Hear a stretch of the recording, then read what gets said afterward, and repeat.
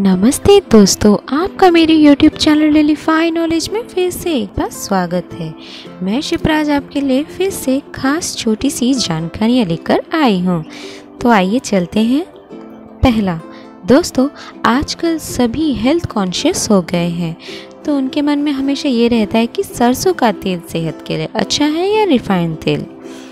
तो जानते हैं, दोस्तों, सरसों का तेल हम प्राकृतिक रूप से प्राप्त करते हैं, अर्थात सरसों को कुचलकर उसका तेल निकाला जाता है, लेकिन वही रिफाइंड ऑयल को कई रासायनिक प्रक्रिया से गुजरना पड़ता है। सरसों के तेल में रिफाइंड तेल के अपेक्षा एंटीमाइक्रोबियल गुण होते हैं, जो बैक्टीरिया और कवक के विकास को रोकने में सबसे प्रभावी है। सरसों के तेल में त्वचा और बालों के स्वास्थ्य को बढ़ावा देता है। सरसों के तेल में मौजूद मोनो फैटी एसिड ट्राइग्लिसराइड के स्तर को कम करके और स्वस्थ रक्त शर्करा के स्तर को बनाए रखने में आपके शरीर की मदद करके स्वास्थ्य दर को बनाए रखता है। सरसों के तेल में ओमेगा थ्री फैटी एसिड होता है, जो कि गाठिया दर्द निवारण में सामयिक उपयोग होता है। सरसों के बीज एलिल आइसो थियोसाइनेट से भरपूर होता है, जो कुछ प्रकार के कैंसर के विकास को कम करने के लिए सिद्ध करता है। सिद्ध हुआ है। दोस्तों, आप ही समझदार हैं तो आप ही बताइए कि आपको कौन सा तेल खाना चाहिए। दूसरा, दोस्तों, मैदा या आटा। कौन सा ज़्यादा लाभकारी है? दोस्तों, अक्सर त्योहारों में हर घर में पूरी, छोले भटूरे आदि बनाई जाती है। नॉर्मल दिन भी हम मोमो, ब्रेड, नान इत्यादि खाना पसंद करते हैं। लेकिन क्या आप जानते हैं मैदा आटे की तुलना में अधिक घातक है? मैदे की तुलना में गेहूँ का आटा सेहत के लिए कई तरह से फ़ायदेमंद है। इन दोनों के बीच सबसे बड़ा अंतर है दोनों में मौजूद फाइबर तत्व की मात्रा। आधे कप मैदे में लगभग एक दशमलव तीन ग्राम फाइबर होता है, जबकि गेहूँ के आटे में उसी मात्रा में लगभग छः दशमलव चार ग्राम फाइबर होता है। ऐसे में गेहूँ से तैयार चीज़ें खाने से पेट स्वस्थ रहता है, कब्ज़ की समस्या नहीं होती है। आटा खाने से ब्लड कोलेस्ट्रॉल सामान्य रहता है। वज़न कम करने में भी सहायक होता है। आटे में कई तरह के विटामिन जैसे folate riboflavin vitamin B one B three B five मौजूद होते हैं। ये भोजन में मौजूद कार्बोहाइड्रेट को ऊर्जा में बदलने में मदद करते हैं। इसके अलावा आटे में अमाइनो एसिड और एंटीऑक्सीडेंट से भरपूर होता है, जबकि मैदे में ये सब गुण गुण नहीं होते हैं और मैदे के सेवन से विपरीत प्रभाव पड़ता है।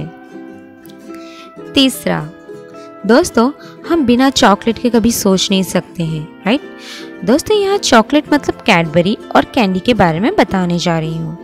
कैंडी और कैडबरी सबको खाना पसंद है। पर क्या आप जानते हैं कैंडी की तुलना में कैडबरी खाना ज़्यादा फ़ायदेमंद होता है? और अगर डार्क कैडबरी हो तो सोने पे सुहागा। कैडबरी खाने से पुरुषों में यौन शक्ति बढ़ती है और हृदय को भी मज़बूत बनाता है। कैडबरी में थियोब्रोमाइन और फेन, फेनिलथाइलामाइन होते हैं जो दिमाग को उत्तेजित करता है, जिससे डोपामाइन का उत्पादन होता है। यह एक ऐसा हार्मोन है जो आराम और आनंद पैदा करता है। दोस्तों डार्क चॉकलेट को सबसे ज़्यादा हेल्दी माना जाता है। इसमें 11 ग्राम फाइबर आयरन सड़सठ प्रतिशत मैग्नीशियम अट्ठावन प्रतिशत जिंक नवासी प्रतिशत, मैग्नीज अट्ठानबे प्रतिशत होता है। वहीं दूसरी ओर कैंडी मतलब रंगीन छोटे चॉकलेट जो न कि केवल आर्टिफिशियल रंगों से भरपूर है, वहीं दूसरी हम, दूसरी ओर इसे बहुत से रसायनों द्वारा बनाया जाता है और इसमें मिठास भी स्वास्थ्य के लिए हानिकारक है और कई रोगों की सृष्टि करता है। बाकी दोस्तों, आप ही समझदार हैं कि आपको कैडबरी खाना चाहिए या कैंडी।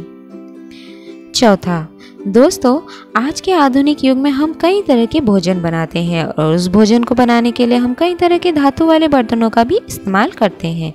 पर क्या आप जानते हैं कि इस धातु के बर्तन में बनाया गया खाना आपको कितना पोषक तत्व देता है?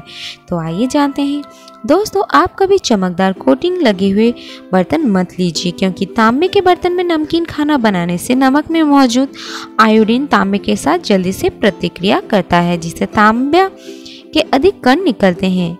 उसी में से एक एल्यूमिनियम है, क्योंकि एल्यूमिनियम बहुत जल्दी गर्म होता है और अम्ल सब्जियों और खाद्य पदार्थों के साथ आसानी से प्रतिक्रिया करता है। इसलिए ऐसे बर्तनों में खाना पकाने से बचने की सलाह दी जाती है। दोस्तों, आइए हम सबके प्रिय स्टील के बारे में जानते हैं। स्टेनलेस स्टील एक धातु, मिश्र धातु है, जो क्रोमियम, निकल, सिलिकॉन और कार्बन का मिश्रण है। हालाँकि स्टेनलेस स्टील अम्ल खाद्य पदार्थों के साथ प्रतिक्रिया नहीं करता, लेकिन सही तरीके से नहीं बनाया गया तो यह मानव शरीर के लिए हानिकारक हो सकता है। अन्य बर्तनों के विपरीत, लोहे के बर्तन में खाना बनाना सबसे अच्छा माना गया है, क्योंकि यह स्वाभाविक रूप से लोहा छोड़ता है, जो शरीर के लिए बहुत ही उपयोगी होता है। पांचवा, दोस्तों, आज ज़्यादातर हर घर में एयर कंडीशनर है। पर क्या आप ये जानते हैं एसी जितना सुखदायक है, उतना ही शरीर के लिए घातक है। एसी आपके त्वचा से अधिक परिमाण में मॉइस्चर शोषित करता है। एसी से आपको सर दर्द infection respiratory problem dry skin निर्जलीकरण सुस्ती, एलर्जी और अस्थमा जैसे रोग हो सकते हैं। अगर हम सकारात्मक पक्ष को देखें तो एयर कंडीशनर वास्तव में उन लोगों के लिए फ़ायदेमंद होते हैं, जो हीट स्ट्रोक जैसी स्थितियों से पीड़ित होते हैं। वे निस्पंदन आद्रीकरण शीतलन और कीटाणु शोधन की मदद से हवा से धूल और पराग को फ़िल्टर करते हैं। इसलिए हमें सांस लेने के लिए स्वच्छ और सुरक्षित हवा प्रदान करते हैं, इसलिए वह अस्थमा और धूल एलर्जी के रोगों के लिए फ़ायदेमंद होता है। तो दोस्तों, आज की दी हुई जानकारी आपको कैसी लगी मुझे कमेंट बॉक्स पर ज़रूर बताइए। और मेरे इस वीडियो को लाइक शेयर और सब्सक्राइब करना ना भूलिए। नए नए वीडियोस पाने के लिए आप बेल नोटिफिकेशन को भी प्रेस करना ना भूलिएगा। Thank you